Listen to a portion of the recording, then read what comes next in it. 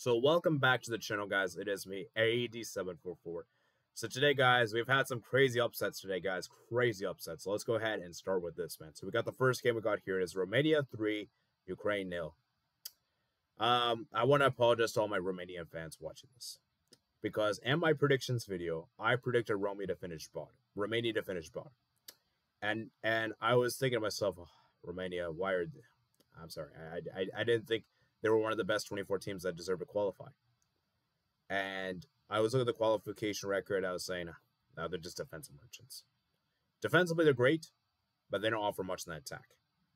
And part of that is probably still true to this day. But the fact remains is that they're not finishing bottom of this group. Well, now technically it is still a possibility, but it is very unlikely. And they showed up. They showed up big time.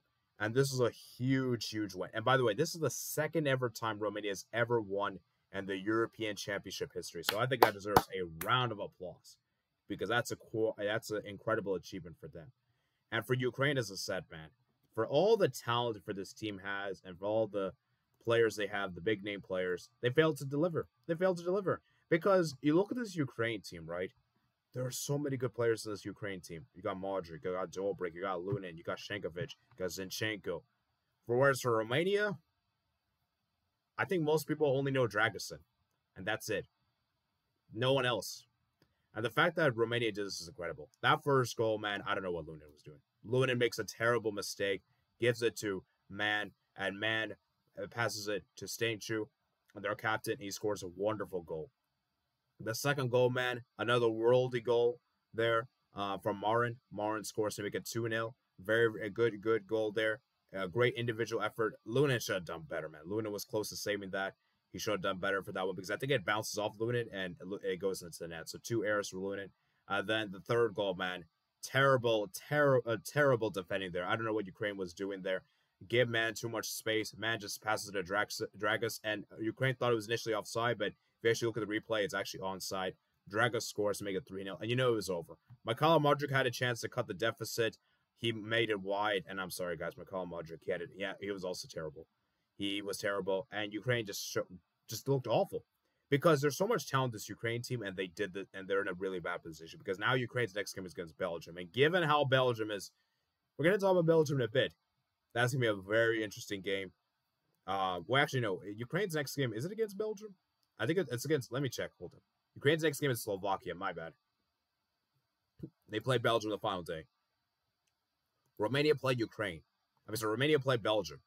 So, I mean, looking at this group right here, guys, Romania is in a good position because, given what I saw with Belgium, if Romania can get a point against Belgium, I think they should be through to round of 16. And then their final game is against Slovakia. Whereas Ukraine, they have to um they have to get something against Slovakia because the final game is against Belgium and it'll be too tough. It'll be too tough for them. And also keep in mind they're in minus three goal difference. So, you know, goal difference could come into key to determine the four best third place teams. But yeah, for Romania, man, amazing win for them. Shout out to Romania. I, I I'm glad to be proven wrong. And this is why I love about football is it's it's a big upset. It's a big upset. And I don't think any many people didn't see this coming. So shout out to Romania. They defied the odds and everything. Moving to the next game we got here, it is Belgium nil, Slovakia one. Another upset. I, I thought, you know, maybe Romania winning. Okay, you know what? Maybe one upset's enough in Group E. Two upsets? I did not have that in the cards. And Slovakia, man, what they did defensively were fantastic. Schranz scoring a fantastic goal there. A great assist from Kucka. You could maybe say it's a bit of a goalkeeper task, to, uh, goalkeeper tax, because you know Casteels did get the initial shot saved, but then the rebound falls through. And obviously, conceded rebound goal was quite unfortunate. Uh, but you know that's just how football is. You know, it's it's just how football is. And yeah, so and yeah, that's just how it is. in the uh, uh Slovak uh, Belgium, man, they were really disappointed today, man. And Lukaku, man, he had a he had a bad game. Let's keep it a stack. Let's keep it a stack. Lukaku had a bad game, and the Belgian team just looked awful. They looked awful for this finishing they have. And let me just show you guys the stats here in particular. Belgium were really disappointed on the day. 16 shots, five on target. And I just think for Belgium in particular, man, I really expected more from them because Slovakia created a lot of good chances. They created a lot of good chances. They could have easily scored again. The 45th minute from the, the from the corner, the seventh minute the save, 40th minute save, good saves there. Bosnich, I remember this. This was a big save. This is a huge save Casteels did. Uh, then yeah, it was very very disappointing. Belgium looked really awful. Lukaku didn't really play well. KDB, guys, we might have to have a KDB convo for Belgium. We might have to have that convo, guys. I don't want to have it, but we might have to have it because KDB was uh, pretty disappointing today. Trossard out in the second half, man. Second half, man. Second half. Second half is where things got interesting, guys. Second half is where things got interesting because Slovakia they defended like for their lives, and as the inferior team, you have to find ways to get a result, especially in a tournament football. It doesn't matter how pretty it is or on it's terrible to watch everything. You're the inferior team. You have it is your obligation to get a result. So I understand what you uh, uh, Slovakia did because defensively they were fantastic. Obviously Lukaku uh, then did equalize um, in the second half, uh, 56th minute. Now it was believed it was offside, and and yeah, offside. You know, it was just unfortunate. It was just unfortunate. It was offside because I think Lukaku was offside here. Let me see if we can get it right here. Yeah, 56 minute. It was offside. Um, Trossard's, yeah. Um, but he's offside by a shoulder and goal was chalked off. Yeah, Lukaku's offside. Uh, then uh, Lukaku created a lot of chances. Then the 63rd minute was a great, great chance there, and it was cleared off the line by Hancko. Hancko, an underrated Slovakian player. I remember I actually did a final save, and he was actually one of my best players there.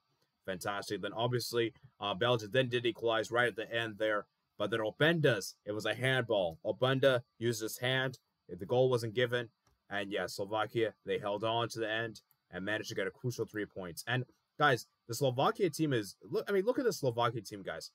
They have some good players. Like Dubravka is a good goalkeeper, plays for Newcastle. Skriniar was fantastic. Hancko I thought was amazing. Hancko is really underrated, by the way, guys. Uh, Vavro is good. Kucka is good.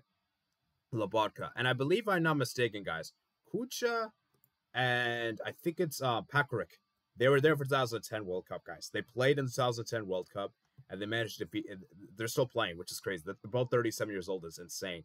And yeah, man. So for Slovakia, man, huge, huge win for them. Gives them a great chance to advance. And for Belgium, as I said, man, Lukaku, man, is there like a curse on Lukaku? Because Lukaku for me was just terrible in this game. He just it didn't do well. And the, D- Dominic Tedesco, man, the substitutions were way too late. Why are you making subs at the 74th to 84th minute when you know your team needs a goal? And why didn't you make substitutions at halftime? Halftime subs should have been made. You know, it's just ridiculous to me. Why didn't Why didn't Charles De Ketelaere not come on? Why is Vertonghen not starting? You know, like it just doesn't make any sense. So you know, and yeah, for uh, D- Dominic Tedesco, man, is is he a bad manager? I-, I think it's a bit too soon to say, but he's making a lot of weird decisions. And yeah, man, KDB, man, he was probably the best player for Belgium of the day, but it just didn't really work out, man. It just didn't really work out, and yeah, there's only so much. Um, and maybe we, I don't know. What, let me know what you guys think about KDB. Should we have a convo about him on tomorrow's stream? Let me know what you guys think.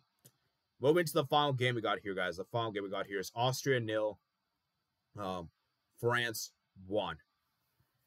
So for Austria, man, uh, it, it, they played well. I thought Austria played really well defensively. I thought their midfield was fantastic. Their midfield was really amazing. Like I thought, um, I thought Seiwald was fantastic. Gregoritsch was great as well. Grillitsch, um, Laimer. But the issue for Austria is just their attack was so bad. Their attack was very limited. They don't have a lot of good goal scorers, and that's what worries me for this Austria team. Whereas France, on the other hand, they looked a bit kind of underwhelming, guys. And guys, do France need Giroud? Because say what you will about Giroud and criticize him all you will, Giroud really does show up for France. He is that guy that makes France the team that they are, right?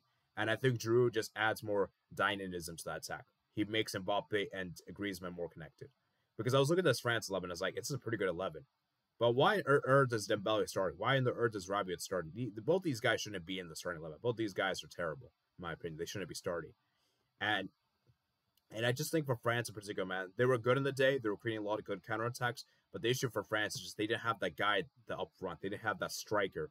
And I think that was a problem because a lot of the play, a lot of the plays they've had went out wide. They didn't have anyone in the middle, you know. And Mbappe in particular, man, he had a he had a he had an underwhelming game. He had an underwhelming game. Like let's let's be real, guys. Mbappe, with the amount of chances he had, he should have scored those goals. He should have scored, especially that one. I think he was one v one with the keeper.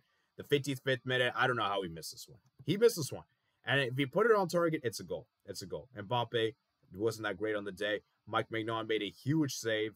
I believe was the first half, big big save. And N'Golo Kante, man, defensively the guy was fantastic. He had a masterclass defensively. Kante was actually regarded as a man of the match, which I agree with. And for Austria, as I said, man, I mean, just looking at the stats right here, man. France got the goal there. It was a bit of a, a nasty cross there. Uh, Wöber puts it in own net inadvertently. And yeah, man, France has just said, man, they were just good, man. Five shots, one on target. Thuram had that chance there. Mbappe, I think Mbappe had a chance that went wide, the eighth minute of the game. And Then obviously Mbappe again, 33rd minute. And yeah, Austria, just like I said, man, they had a great chance there. This was the save I was talking about, Baumgartner. And the second half, man, Austria really did do everything they could to score. Baumgartner, the 78th minute, had a chance there. Um, and then uh, let me see if I can find the other chance. And then Posch. So yeah, th- this was a big, big chance right there, as you can see, Baumgartner. Um, right there, indeed. So yeah, I just think for um, Austria in particular, man, if they could just improve their attack a bit better, they have they could go through this group because I look at Poland and Netherlands and I'm not really convinced with either team. So Austria have a great chance to finish second. As for France, they're coming into this one in good form. Uh, they're coming into this one good.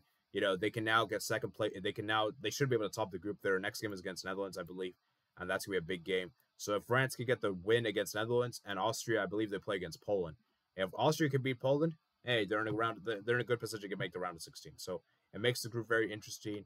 Let's see what happens. Can Austria be the dark horse, guys? Because of all the teams I've seen so far, I think they have the best chance to be a dark horse. I think they have the best chance. Their midfield is great. Ralf Rangnick's a good coach. It's just they have to improve that attack. They have to improve that attack and hope that attack can get better because my goodness me, that attack is very underwhelming. So I hope you guys did enjoy this video, guys. Please remember to like and subscribe. Let me know if there's any major talking points in the comments below. And yeah, I'll see you guys later, man. Peace out.